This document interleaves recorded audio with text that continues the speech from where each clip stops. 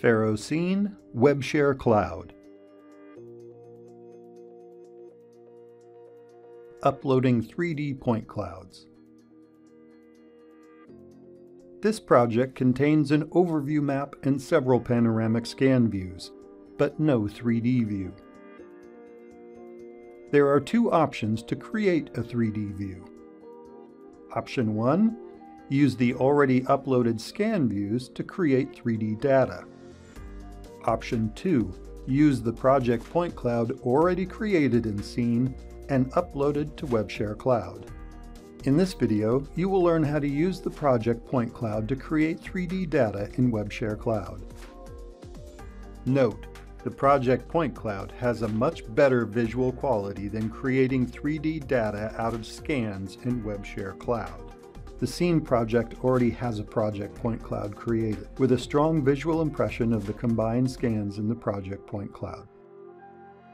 Upload this project point cloud to WebShare. Click the Export tab and the WebShare Cloud tool and click Upload Project Point Cloud. Scene automatically recommends a related project based on the domain login information previously used. This domain has two Scene projects, you can upload 3D data to another project by clicking Other Projects in this domain. Click Point Cloud Settings. Scene will create a CPE file and upload it to the WebShare Cloud project. Check your default settings for the upload and click Start Upload.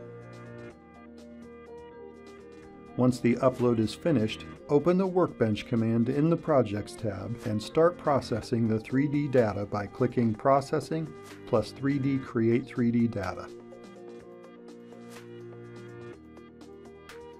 Choose multiple sources for the 3D data, either the CPE files from an uploaded project point cloud, or select multiple scans from the WebShare Cloud project.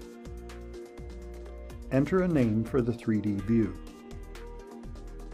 Set color mode allows you to choose the color. In this case, use the RGB color for 3D data and click OK. Processing is performed in the background in the cloud. Once finished, an email is sent with a link to the final 3D view. Go to the Job Queue command on the top right for an overview of projects that were already performed on this domain and the current projects in progress. When the 3D processing is finished, access the 3D view of the project by clicking the Show 3D View command on top right of the window.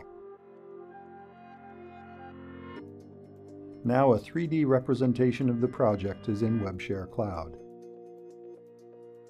From here, you can switch back to Panoramic View by clicking into the center of the circle and selecting Panoramic View or enable the 3D View command on the upper right of your screen. You have seen how to upload 3D point clouds to WebShare Cloud.